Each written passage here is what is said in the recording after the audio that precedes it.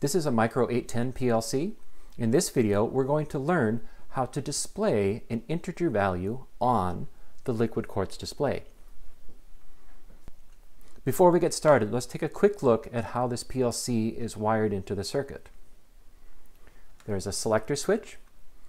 You could think of this as a manual, off, auto switch. There's a push button, which will operate in the manual mode. And there's a light, which will turn on when you're in auto.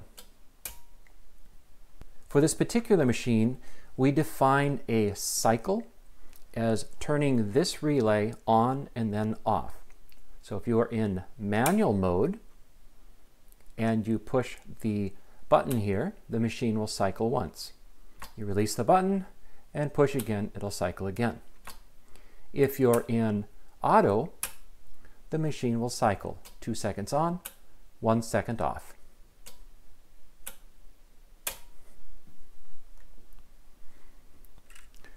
Let's take a closer look at that display.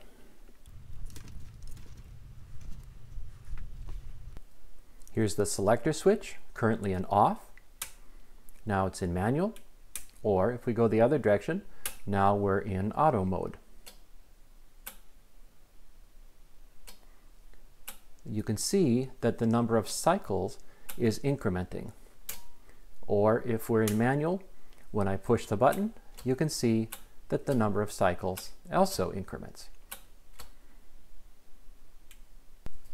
To understand how that display works, we first need to look at the program organizational units. There are three for this particular program, including program in-map, program out-map, and program control.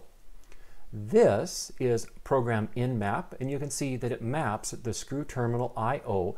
to global variables. In this case, switch for manual, switch for auto, and a push button for cycle. If we're in manual, that's the switch. To the left, we see that we're in manual. You'll also see, or the display will show you manual as well. We'll get to that in a minute. The switch is in off position, and now the switch is in auto. If the push button is held, of course, that third rung will light up. This is program out map. Here, we're mapping global variables to screw terminal I.O. Here we have global boolean K1, which is what we defined as cycle for this particular machine. It's the relay to the side I showed you. And then there's a panel lamp for green. So if we go to auto, you should see both of those activate. With the first one being the K1 rung turning on and off.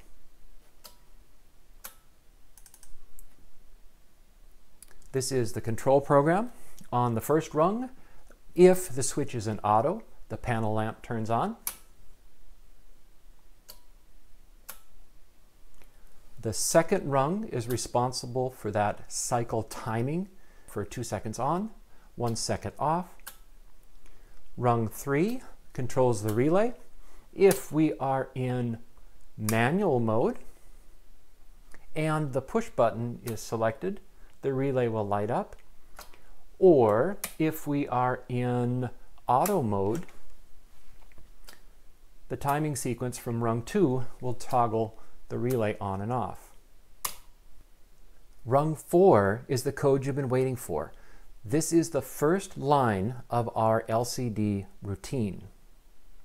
Here, line 4 is used to clear some memory buffers.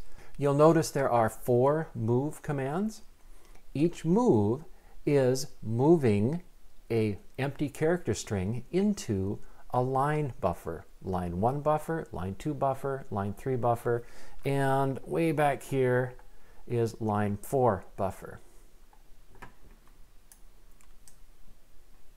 If we look at the local variables,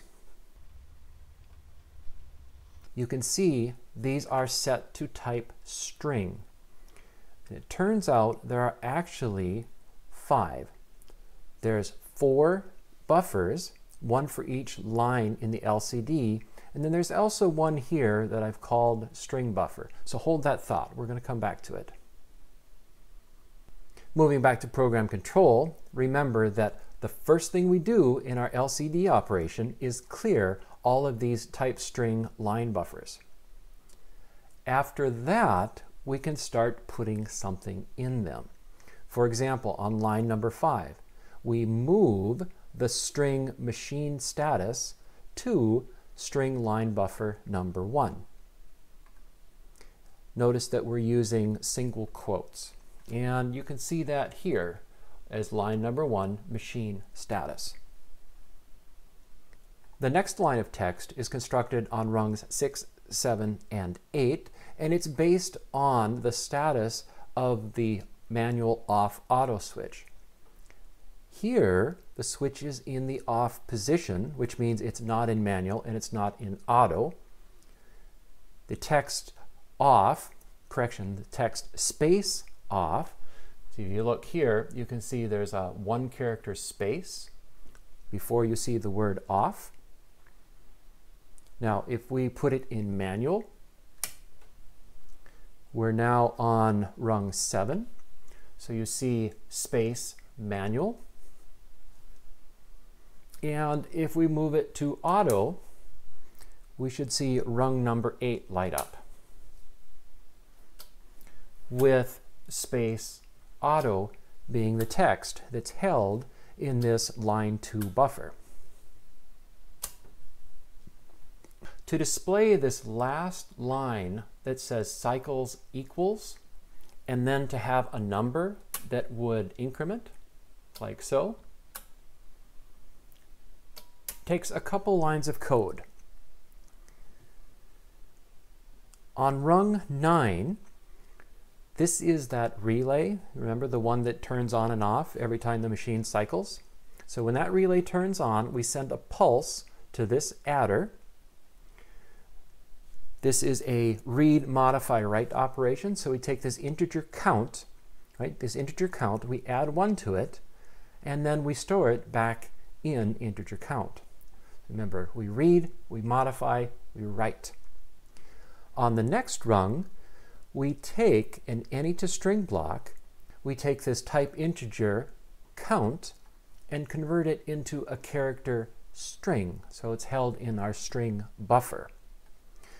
And now we have to combine our number, which is held in a string, with the words space cycles. And that's done with this insert block. So there are two inputs. There's two character strings here. And then there's this last um, input, which tells us how many positions to move over. So if you count really carefully, space, C-Y-C-L-E-S, space equals space, you'll find that the next position is position number 11. And that's where we start our string buffer, which then gives us this as an output. So space cycles, space equals space, and then at position 11 we start string buffer.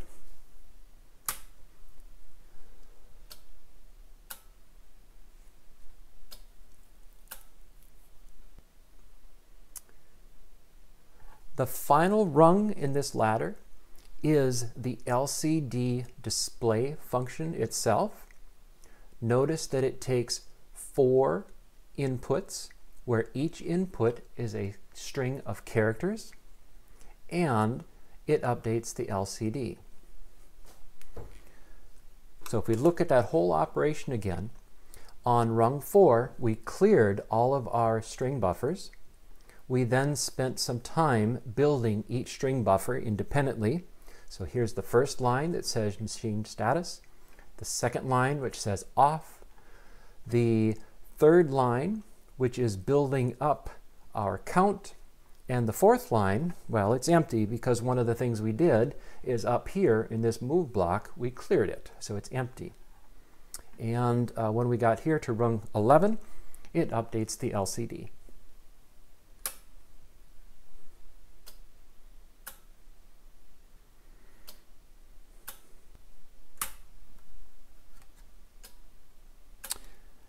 That's all for tonight. I hope you enjoyed this. Please leave a comment down below if there's any particular topics you would like to see in the future.